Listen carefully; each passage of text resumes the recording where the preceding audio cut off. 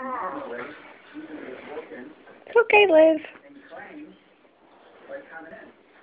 I didn't realize that I came with excited and anxious energy, which caused Rufus to have that same energy. So that was very enlightening for me, and it was nice to see how Cesar worked with Rufus and how that calm, assertive behavior can definitely help. Is an area where everybody should learn to practice same energy. Everybody has to project calm, assertive energy. Dogs, especially in a professional scenario.